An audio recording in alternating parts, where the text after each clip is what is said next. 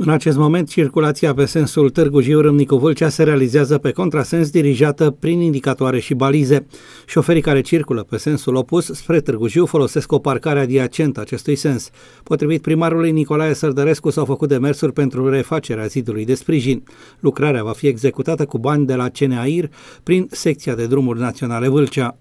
Zidul uh, de sprijin care era construit uh, pe o lungime de aproximativ 30 de metri pe zona respectivă era fragmentat de foarte mult timp, așa cum este și celălalt zid pe partea opusă, puțin mai sus decât alunecarea asta. Și din cauza ploilor uh, s-a mișcat uh, terenul și deci a alunecat terenul și a, a pus la pământ acel zid. Se circulă fără niciun fel de probleme. La ora actuală, uh, de dimineață am vorbit și cu domnul prefect iar uh, sâmbătă am vorbit, nu, ieri am vorbit cu doamna director de la Drumurile Naționale de la Vâlcea.